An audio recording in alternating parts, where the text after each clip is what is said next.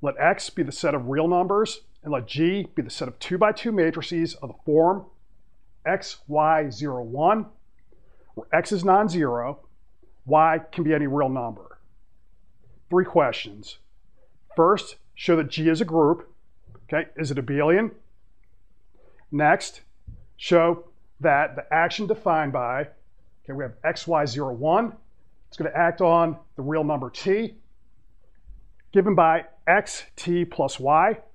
Show that that's a group action. And then the question is, is that group action faithful? Okay, question one, is G a group? So we need to show four things. We need to show closure, identity, associativity, and inverse.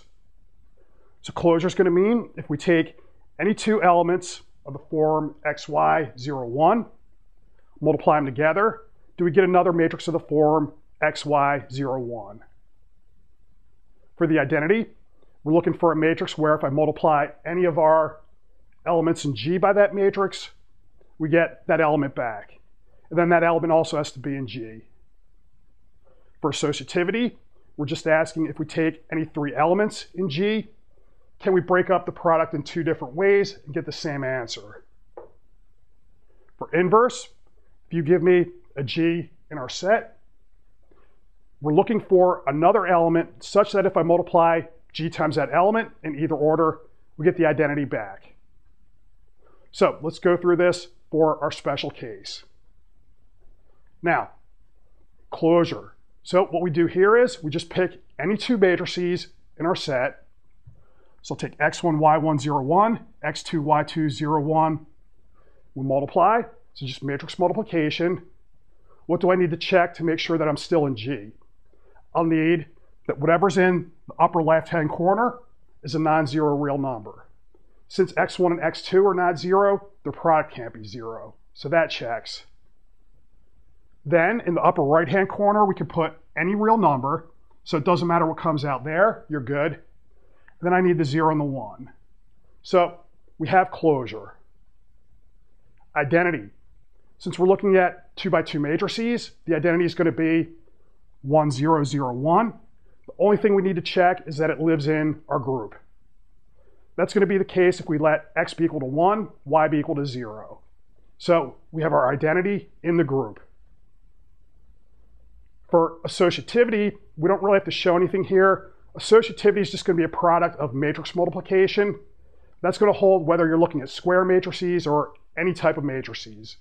So that's just going to be an inherited property. So we don't need to do any work there.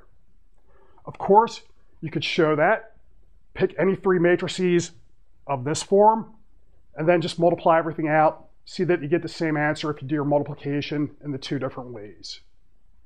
Then inverse. So here, two ways we can go about this.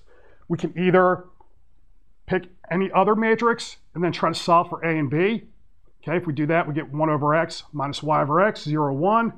But of course, you could just use the rule for 2 by 2 matrices, which says, okay, you're going to take 1 over your determinant, switch on the diagonal, negate off the diagonal.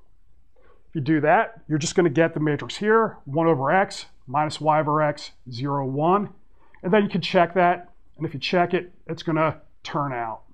So we have inverse.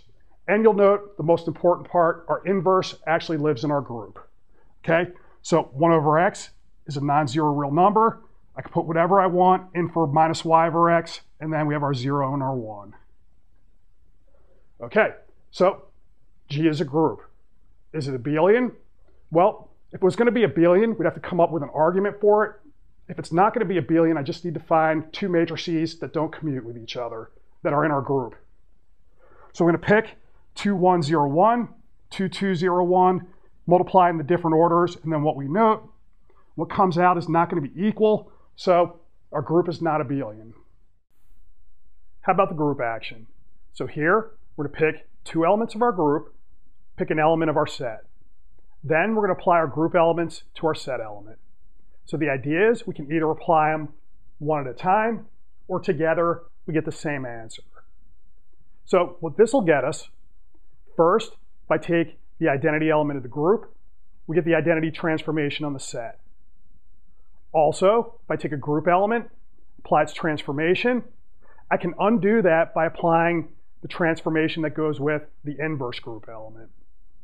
So any transformation that I can do, I can undo. Now let's take a look at our special case. So we'll pick two matrices in our group, x1, y1, 0, 1, x2, y2, 0, 1, and then our set element in the real line is going to be t. So we apply our transformation, get x2t plus y2, and then I apply our group element to this element here, and then what comes out is this. If I multiply our group elements together first, we'll get this matrix here, and then what comes out is this, and then we note that these two terms are equal. So we have a group action. We want to show that's faithful. What's the idea here? Well, we're looking for all group elements that give us the identity transformation. If we're faithful, then the only one that gives us the identity transformation is the identity group element. So let's set up that equation. So that'll be, take any group element, okay, we're gonna apply that to t, we're gonna get t back for all t in the real line. So when we write out the equation, what happens? We're gonna have to have x equals one, y equals zero, which means we started out with the identity matrix. So our action is faithful. Now, what does faithful get us? That means if I take any two distinct group elements, the transformations that come out are also distinct. So if I leave the room, you pick a group element, apply it to the real line. When I come back in, I can tell you exactly which group element you used. That's going to mean our group is a genuine group of permutations on the real line. If we think strictly in terms of permutations of the real line, we could take out all the matrix notation. Then what we have is closely related to what's called the AX plus B group.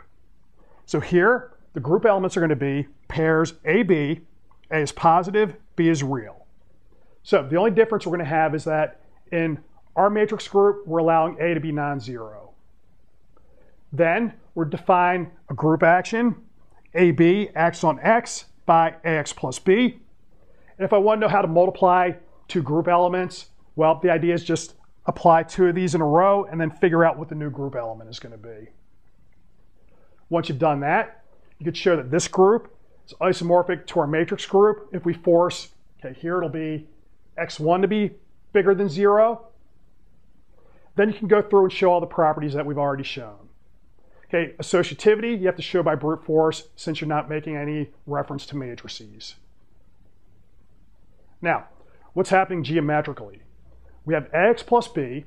So the a part is going to take the real line and rescale. So those are going to be dilations.